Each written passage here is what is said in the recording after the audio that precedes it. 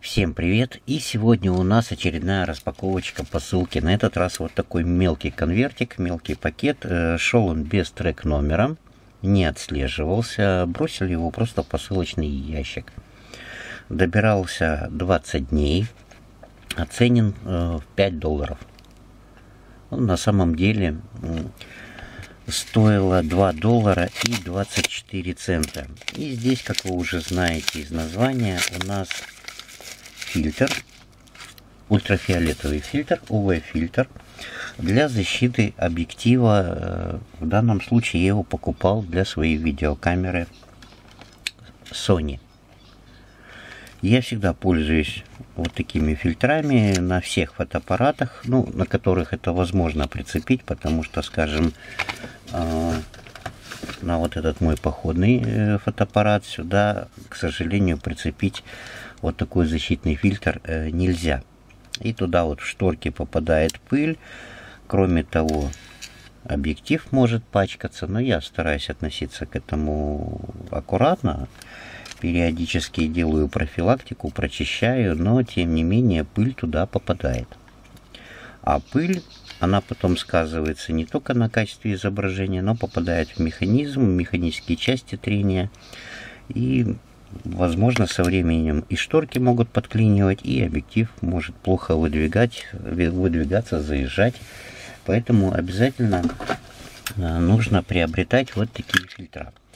Давайте сейчас посмотрим, примерим, и я потом расскажу более подробно об этом фильтре. Пришел он вот в такой коробочке.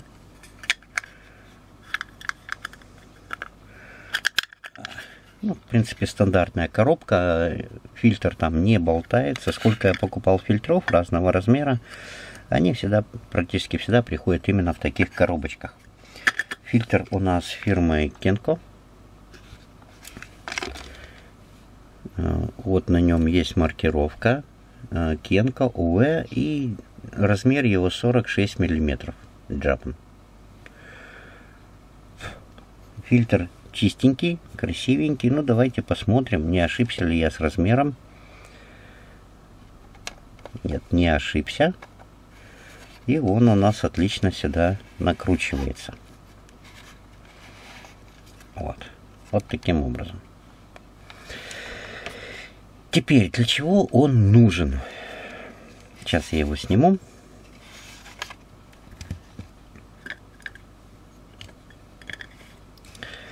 Как я уже сказал, туда попадает пыль. А вот эти шторки, они у нас э, достаточно нежный механизм. И они могут э, подклинивать. Особенно это касается камер э, вот таких э, с автоматическим открыванием шторок. Плюс ко всему, если э, мы говорим о камерах Sony, то там мы видим просто промежуток туда тоже, ну это в принципе он и в Кэнонах то же самое, может попадать пыль, и вот этот механизм стабилизации, если сильно много попадет пыли, песчинок, его может просто заклинить, и вам придется нести в камеру в ремонт, а это будет удовольствие уже не из дешевых. Ну и кроме всего у нас пыль оседает на самом объективе, и это тоже скажется на качестве изображения. Поэтому фильтра надо покупать э, всегда.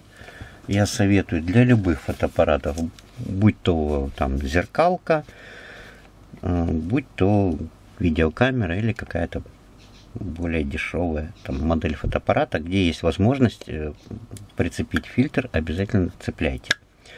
Чтобы фильтр в процессе у нас не пачкался, на него можно купить такую же точно крышку, но, соответственно, подходящего размера, то есть тут у нас 46 миллиметров, значит и крышку мы покупаем на 46 миллиметров. Крышку такую я купил, но она приехать еще не успела.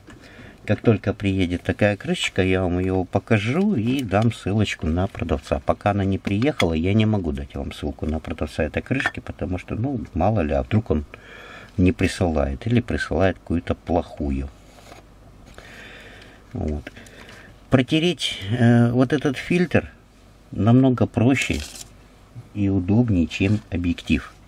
И мы даже не боимся его поцарапать. Ну, поцарапался, он дешевый, выкинули, это как расходник. Ну, купили, поставили новый. Ну, протирается он легко.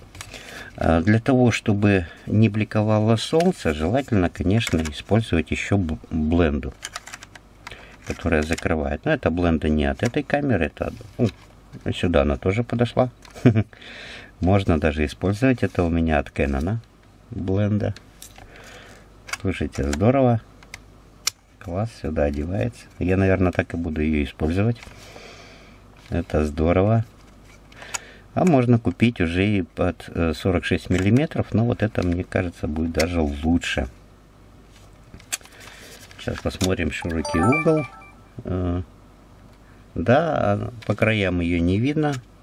Края не засвечивает, то есть отлично подойдет. Здорово. Так что вот такая штучка. А, чуть не забыл. Кроме этого, вот эти фильтра они э, улучшают качество изображения. То есть, когда мы фотографируем, э, у нас э, фотография получается лучше, чем без этого фильтра. У нас получается большая прорисовка облаков, теней, цвета становятся более насыщенными, более красивыми, более, более интересными. Поэтому даже если сравнивать качество изображения вот без фильтра и с фильтром, то с фильтром изображение будет намного лучше. Это защитный фильтр. Такие фильтра бывают разными, и поляризационными, и там синими, розовыми, под все случаи жизни. А, полярик, поляризационный фильтр, нужен для того, чтобы блики на воде, допустим, убрать. Либо, если вы зашли в магазин или в музей и э, снимаете через витрину, через стекло, то поляризационный фильтр как раз э, позволяет как бы убрать это стекло, его не видно. И у вас э, изображение будет такое, как будто вы фотографируете вообще без стекла. Не через стекло, а прям напрямую товар. Ну, тема про фильтра, она настолько обширная, и можно разговаривать, а не рассказывать целый час. Вот просто рассказываю о действительно нужной вещи, которая нужна каждому человеку, у которого есть э, видеокамера, либо фотоаппарат, э, и куда можно прицепить вот такой фильтр. Обязательно его купите, поставьте, и тогда ваш объектив будет всегда находиться в чистоте, не поцарапается, не испачкается, не замарается, потому что вот жир от пальцев оттереть э, достаточно проблематично.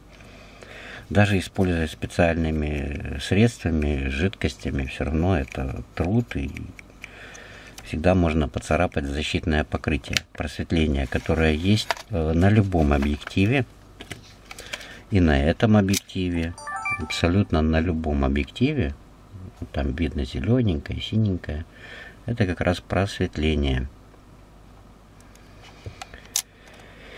Вот, так что вот такая интересная штучка. Э, недорогая. Сейчас, правда, я смотрю, немножко цена поднялась. Ну, может, для того, чтобы 11 числа скинуть и продать дешевле. Э, продавец э, надежный, присылает очень быстро, 20 дней. Это, я считаю, совсем недолго. Присылает действительно то, что заявлено в описании. Так что выходите, покупайте накручивайте и пользуйтесь. И пусть ваши видео или фотографии будут намного лучше. И техника будет всегда в сохранности и боевой готовности. Ну вот это через стекло оконное, не совсем уже чистое. Но тем не менее, смотрю на тучки, это с фильтром. А теперь давайте снимем фильтр и посмотрим без него. А вот это без фильтра.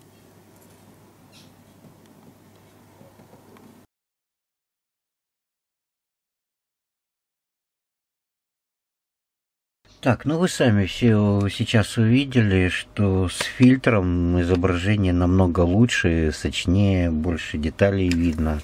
Ну, вообще оно как-то приятней и естественней. Если честно, я не ожидал, что будет такая разница. Я думал, ну, в принципе, просто вот на зеркалке я такой сильной разницы не видел. Но я, если честно, и не сравнивал. Я его прицепил и пошел снимать. А так, чтобы один э, вот именно сюжет, как сейчас, я не сравнивал. Сейчас сравнил и удивился. Фильтр – нужная вещь, вот такая суперская. Так что выходите, покупайте. Ссылочка в описании под видео. Ну а я с вами прощаюсь. Всем пока и до новых встреч.